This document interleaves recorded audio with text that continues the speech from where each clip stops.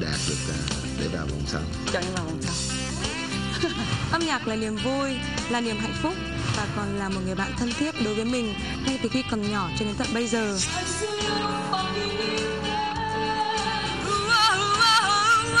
Mình rất mong quý vị khán giả hãy cùng ủng hộ và tiếp sức cho mình trong Việt Nam Idol 2012.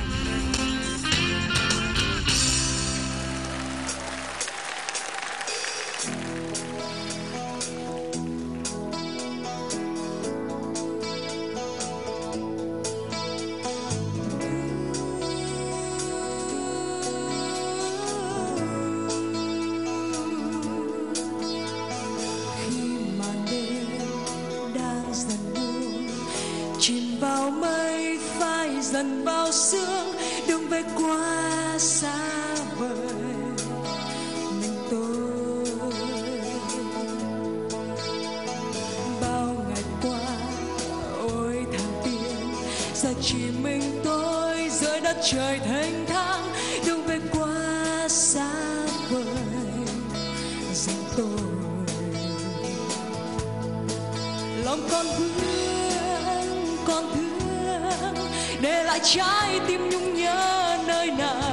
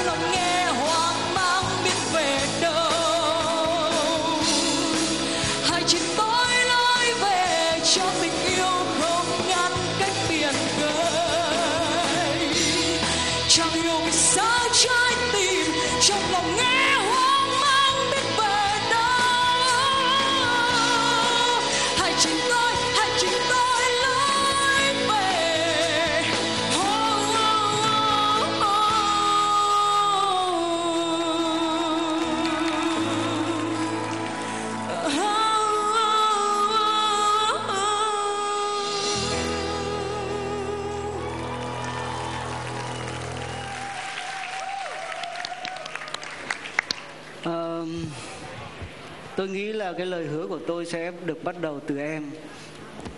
Ờ, cái lời hứa mà sản xuất album tôi nghĩ là sẽ được bắt đầu từ em.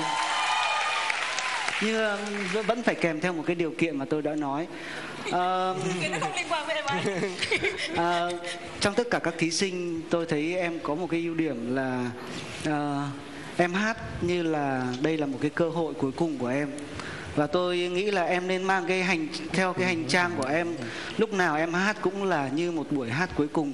Nhưng chỉ có cái điều là em bỏ qua tất cả những cái sự căng thẳng, cay cú hay là hiếu thắng và cứ coi đấy cho là một cái buổi diễn cuối cùng cho riêng em thì tôi nghĩ là em sẽ thành công.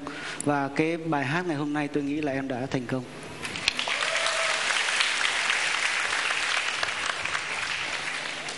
À, anh nghĩ à, em đã làm tròn cái tiết mục này kể cả phần à, hát và phần à, biểu diễn. Nhưng mà anh nghĩ bây giờ á, à, à, nếu ở đây có nhiều nhà báo á, thì thường thường họ thích cái gì nó một là nó quái hơn nó mạnh hơn nữa. Hoặc là nhiều khi à, nó hớ hơn tí xíu thì nhiều khi cũng được à, đăng tôi báo. thấy không? là em có thừa điều đấy rồi đừng anh Dũng. À, nhưng mà anh nghĩ ở vòng sau em sẽ mạnh hơn như vậy. À, đây là tiết mục đầu tiên mà tôi rất là bất ngờ em có thể làm được như vậy.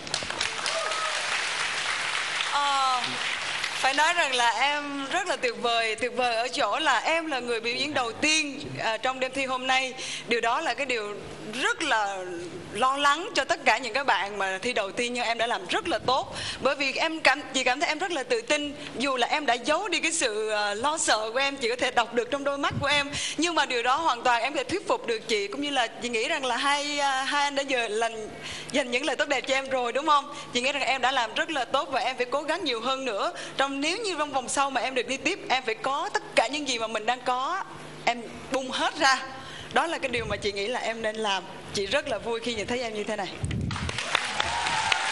xin chúc mừng Thu Hà bởi vì à, nhạc sĩ Quốc Trung hình như đã hứa đã sẽ làm album cho bạn nhưng mà Huy Khánh nghĩ là bạn phải à, luôn luôn cầu nguyện để cho anh Quốc Trung sống tới 90 tuổi. và có một câu hỏi Huy Khánh muốn hỏi bạn là ngày hôm nay được đứng trên sân khấu Việt Nam Idol và được hát trực tiếp cho quý vị khán giả nghe. Cảm nghĩ của bạn như thế nào và cảm giác của bạn như thế nào? Ờ, em rất là cảm ơn những lời nhận xét của ờ, ban giám khảo dành cho em. Được hát ờ, trên sân khấu của Vietnam Idol, đó là một ước mơ rất lớn trong cuộc sống của em và ngày hôm nay em rất hạnh phúc khi ước mơ đó đã trở thành hiện thực và em đã được đến gần với khán giả của Vietnam Idol em rất là vui ạ. Và quý vị khán giả hãy bình chọn cho Thu Hà với mã số bình chọn là 9. Xin quý vị khán giả hãy soạn tin nhắn 9 gửi về tổng đài 6358 để